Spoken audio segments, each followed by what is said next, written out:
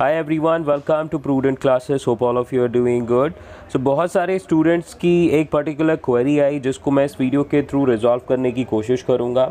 अभी जितना मेरे पास मैसेजेस आए स्टूडेंट्स के, उन्होंने बताया है कि अभी इग्नू की तरफ़ से जो आंसर स्क्रिप्ट मिल रही है आंसर शीट जो मिल रही है, वो उसमें सिर्फ़ 24 पेजेस हैं, जिसमें आप अपने आंसर्स को अटैम्प्ट कर सकते हैं। लास्ट ईयर तक इफ़ आई टॉक अबाउट आपके लगभग 28 पेजेस मिलते थे, जिसमें आप अपने आंसर्स लिख सकते थे। अभी जैसा कि स्टूडेंट्स ने मुझे बताया 24 पेजेस मिल रहे हैं। आप भी अगर एग्ज़ाम दे के आए तो आप भी बताइएगा कि कितने पेजेस आपको मिले थे आपके आंसर शीट में। तो देखिए जो आंसर शीट एक्स्ट्रा वाला क्वेश्चन है, वो तो बहुत सारे रीजनल सेंटर्स में से इफ़ आई टॉक अबाउट एक से दो साल पहले ही क्लोज़ हो गया। 90 परसेंट रीजनल सेंटर्स ऐसे हैं जो कि अब एक्स्ट्रा आंसर शीट नहीं देते, जिन स्टूडेंट्स को नहीं पता है तो प्लीज़ अब इस बात को ध्यान में रखिएगा। आपको सिर्फ़ एक आंसर शीट मिलेगी जिस में आपको अपना पूरा पेपर अटैम्प्ट करना है। अब बात करें 24 पेजेस की तो गैस 24 पेजेस सफिशेंट है, अगर आपको पाँच क्वेश्चन अटैम्प्ट करने हैं।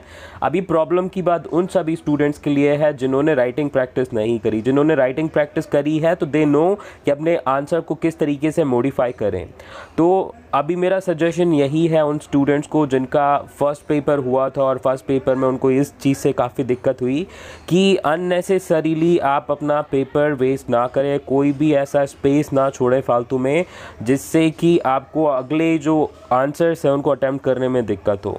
बहुत ही चूज़ी रहिए, जितना हो सके स्पेस तब दीजिए जब ज़रूरी हो। डायग्राम्स भी इतने सारे मत बना दीजिए कि डायग्राम्स से ही आपका जो नंबर ऑफ़ पेजेस है वो एक्स्ट्रा फिल हो जाए। तो अभी कोशिश ये कीजिएगा कि अगर 20 मार्क्स का कोई क्वेश्चन आता है तो फोर टू फाइव पेजेस, बहुत अच्छे से आता है तो सिक्स पेजेस मैक्सिमम कर लो। ये चीज़ ध्यान रखना, जो आंसर आपको अच्छे से आता है, उसको आप सिक्स, सेवन पेजेस तक अपना एक्सटेंड कर सकते हो, स्ट्रेच कर सकते हो। लेकिन बहुत सारे आंसर्स ऐसे भी होंगे, जो कि ट्वेंटी मार्क्स के क्वेश्चन होंगे, और हमें आंसर उतना अच्छे से नहीं आता। तो वहाँ पर हमें अपना लिमिटेड आंसर लिखना है।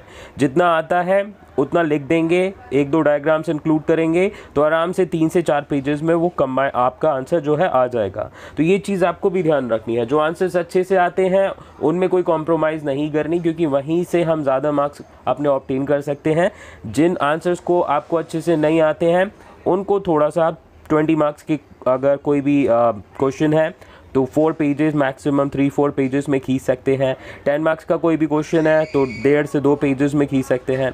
तो इस तरीके से आपको थोड़ा सा स्ट्रेटजी बना के जानी पड़ेगी। अगले पेपर में I don't want any one कि आपका पेपर इसलिए छूट जाए क्योंकि आपने इनिशियल तीन या चार क्वेश्चन को करने में अपने ट्वेंटी फोर पेजेस फिल कर दिए। तो थोड़ा सा इस तरीके से जाइएगा एग्ज़ाम में कि आपको ट्वेंटी फोर पेजेस में अपने पाँचों के पाँचों जो क्वेश्चन आएँगे, उनको अटैम्प्ट करना है। Okay okay?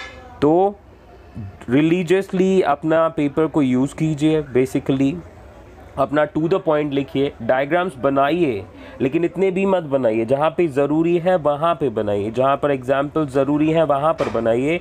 या फिर उन केसेस में आप डायग्राम्स और एग्ज़ाम्पल का यूज़ कर सकते हैं, जहाँ पर आपको लेंथ बढ़ाने में आंसर की रिक्वायरमेंट हो।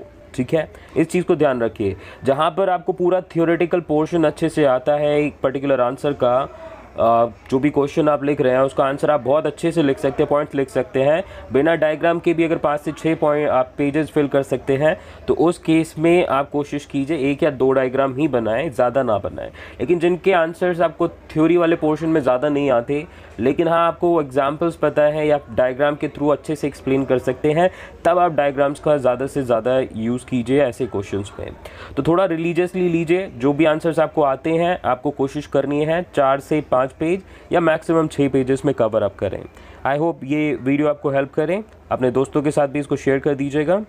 एंड आप सभी को एक सजेशन और देना चाहूँगा यहाँ पे कि आप थोड़ा सा राइटिंग प्रैक्टिस करके जाइएगा। एक या दो क्वेश्चन आप घर से करके देख लीजिए कि कितना टाइम लग जाता है, कितने पेजेस आपके फिल होते हैं जब आप आंसर अटैम्प्ट करते हैं ट्वेंटी मार्क्स का। तो इससे थोड़ा आइडिया बन जाएगा स्पीड बन जाएगी हैंड राइटिंग प्रैक्टिस भी हो जाएगी। ठीक है? तो वीडियो अच्छी लगे तो लाइक कीजिएगा और चैनल सब्सक्राइब कर लीजिएगा। मिलते हैं नेक्स्ट वीडियो में। अभी के लिए इतना ही। Thank you so much have a nice day bye